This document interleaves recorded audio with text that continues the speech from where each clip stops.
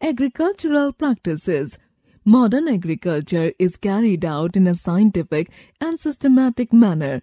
For growing crops, farmers perform a series of activities over a period of time in a particular sequence. These activities are called agricultural practices. Agricultural practices can be subdivided into the following steps soil preparation, selection and sowing of seeds, adding manure and fertilizer, irrigation, crop protection, harvesting, storage. Soil preparation. For growing a crop, the preparation of soil is the first step. Soil is the main medium in which a plant grows. The most important task in agriculture is to ensure the availability of vital nutrients present in the soil.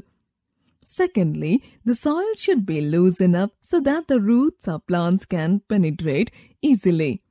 The loosened soil also helps in the growth of earthworms and microbes, which help to make it fertile. Roots of plants absorb water, air, and nutrients from the soil.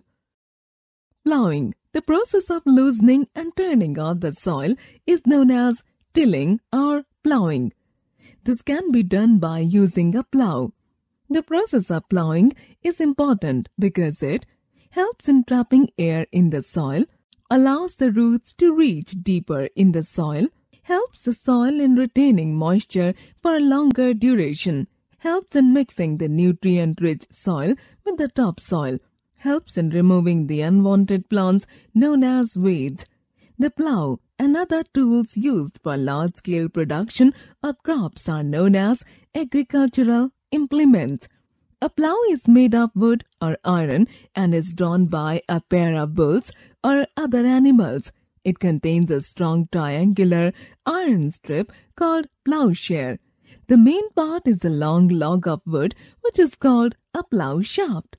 There is a handle at one end of the shaft and the other end is attached to a beam which is placed on the animal's neck.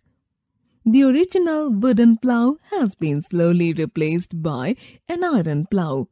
These days, plowing is also done by tractors. A hoe is an ancient and versatile agricultural tool used to move small amounts of soil. It is used for weed control by agitating the surface of the soil around the plants, piling soil around the base of plants, hilling, creating narrow furrows, drills, and shallow trenches for planting seeds and bulbs, chopping weeds, roots and crop residues, digging and moving when harvesting root crops such as potatoes. A cultivator is a type of farm implement used for secondary tillage. It has frames with teeth which are also called shanks. The shanks pierce the soil as they are dragged through it linearly. A cultivator stirs and pulverizes the soil either before planting to aerate the soil and prepare a smooth, loose seedbed or after the crop has begun growing to kill weeds.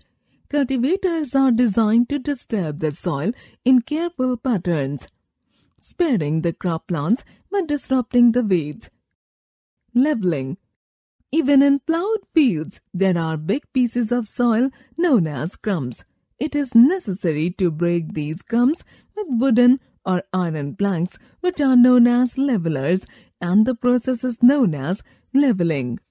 At times, manure is added to the soil before tilling. The soil is watered after leveling and before sowing. Adding manure. A young plant needs adequate amounts of nutrients for its proper growth. These are provided in the form of manure and fertilizers. Manure and fertilizers are the substances which are added to the soil to provide nutrients for a healthy growth of plants.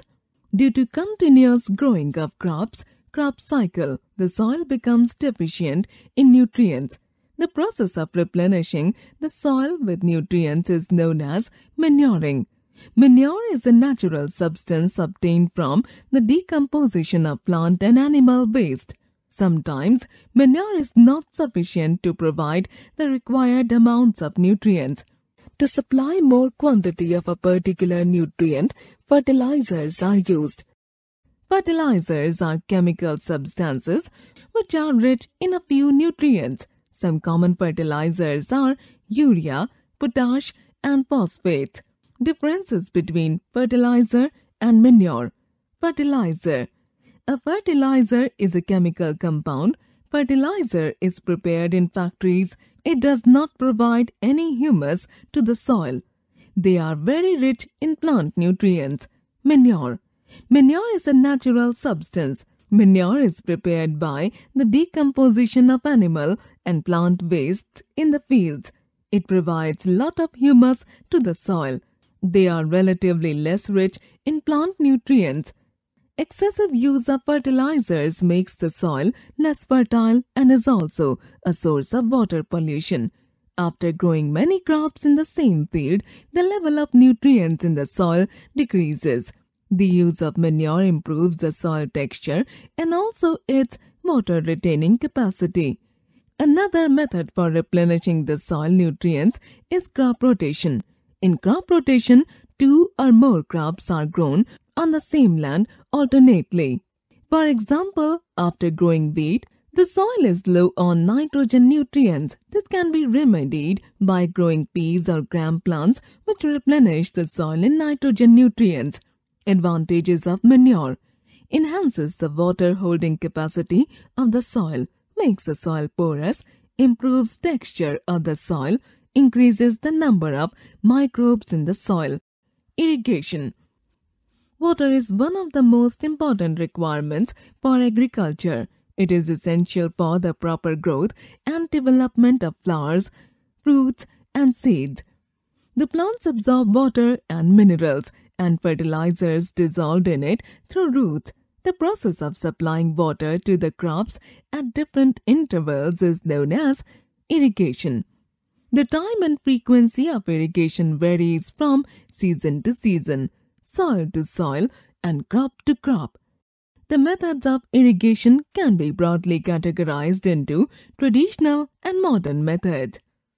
The traditional methods include canal irrigation, furrow irrigation, chain pump, pulley system moat, dhekli, and water wheel rahat. The water available in wells, lakes and canals are lifted up by different methods in different regions for taking it to the field. Cattle or human labor is used in these methods. These methods are very cheap but are comparatively less efficient. At some places, pumps are used for pulling water. These pumps run on diesel, biogas, electricity, and solar energy. Crop protection. The undesirable plants which grow along with the crop are known as weeds. Amaranthus, wild oat, grass, and bathua are examples of weeds. The removal of weeds is called weeding. These plants should be removed as they compete with the crop for air, sunlight, and nutrients, hence affecting the growth of the crops. The best time for the removal of weeds is before they produce flowers and seeds. Weeds can be uprooted by hand or removed with the help of implements such as trowel, hoe, or harrow. This process is time consuming and may lead to accidental removal of desired crops. The implements used also require regular maintenance. Weeds are also controlled by using certain chemicals called weedicides, which kill only the weed plants. Examples are Dalapon, 2,4-D, Metachlor, etc. The animals which damage crops are known as pests and these can be destroyed by chemicals called pesticides. However, the disadvantages of using these chemicals are significant. Contact with them can affect the health of farmers. Traces of these poisons may remain in the crops and can be harmful to the people who consume them. Harvesting The process of cutting off crops when it is ready is known as harvesting. Harvesting can be done with hands using a sickle. It can also be done with the help of a machine called the harvester. In harvested crop, the grain seeds are separated from the chaff by the process known as threshing. Threshing is carried out with the help of a machine called combine. The separation of grain and chaff can also be done by winnowing. Storage. Freshly harvested crops have moisture. They are dried properly so that they can be stored for longer time. The crops should be safe from moisture, insects, rats and microorganisms. The crops are dried in sun and stored in jute bags or metallic bins. On a large scale, the grains are stored in silos and granaries. Food from animals. Rearing animals on a large scale for food and other useful things is called animal husbandry. Meat is obtained from sheep, goat, lamb, hen, etc. Fish and other water animals such as shrimps, prawns, lobsters, etc. are also consumed by human. Dairy products such as milk, curd, cheese, butter, etc. are obtained from animals such as cow, buffalo, goat, camel, etc. Eggs are obtained from hen, duck, goose, etc. The practice of rearing honeybee for honey is known as